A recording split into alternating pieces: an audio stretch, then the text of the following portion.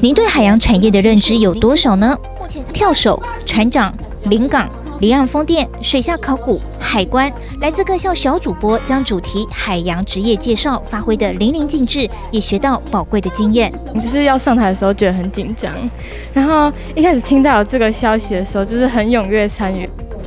饮水人执照取得相当不容易，目前全台拥有饮水人执照的不到一百位。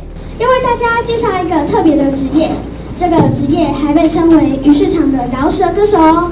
他就是渔货拍卖员跳手，导播，导播，切切，那么那么那么那么。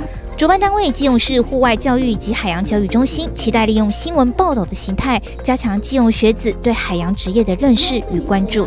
世界海洋日，我们户海中心的话，想要突破传统，想办理跟海洋教育有关的小主播的比赛。所有的老师跟同学就会事先针对我们设定的主题，事先去做研究，然后跟学习。我们觉得这是另外一种对于海洋教育学习的一种模式。今年的话，这样子试办，明年也会继续操作这样子的课程。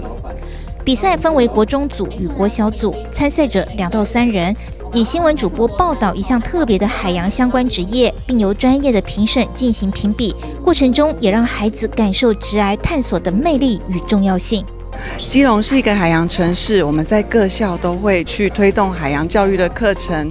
那我们特别在今天世界海洋日办理这样的海洋小主播的活动，希望透过这样的活动，可以让孩子对于我们在地海洋相关的产业有更多的认识，也希望他们对于海洋永续、海洋保育有更多的醒思。